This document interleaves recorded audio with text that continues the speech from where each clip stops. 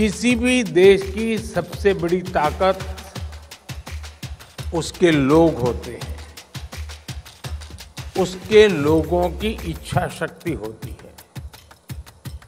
ये समिट आज लोगों की इस ताकत को भी सेलिब्रेट करने का माध्यम बनी है।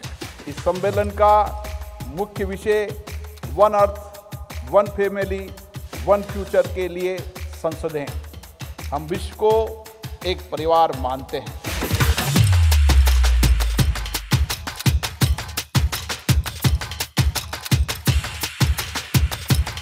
हम सब आपको हार्दिक धन्यवाद देते हैं और संयुक्त वक्तव्य को एडॉप्ट कर लिया है। मैं इस अवसर पर ब्राज़ील और उनकी टीम जिनको जी ट्वेंटी की अध्यक्षता मिली है मैं उनको भी बधाई देता हूँ, शुभकामनाएँ देता हूँ और मैं उनकी सफलता की कामना करता हूँ।